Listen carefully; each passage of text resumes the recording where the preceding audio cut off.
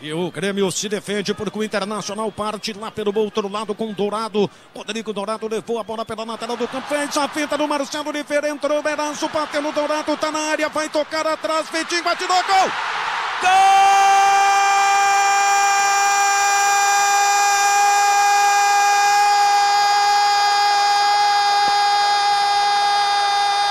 Gol do Internacional. Sete minutos do tempo gol. Acreditou Rodrigo Dourado.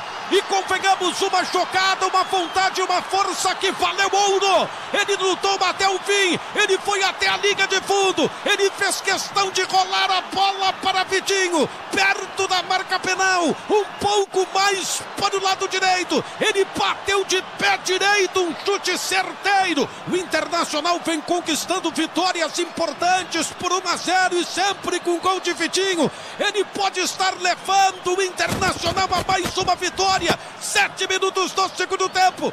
Na força da individualidade do Vitinho, na sua qualidade. Mas de uma vontade tremenda de um Rodrigo Dourado que foi até o fundo do campo, acreditando no último suspiro. Vitinho põe para o gol de pé direito. Internacional larga na frente. A Grenal imprevisível. A clássico de emoções divididas. Es-Grenal, o maior espetáculo do planeta. Canta o Beira Rio. Um para o Internacional Vitinho. Zero para o Grêmio. A história do gol no futebol da Bandeirantes. Hashtag Grenal na Band. Simon Bianchini. Porque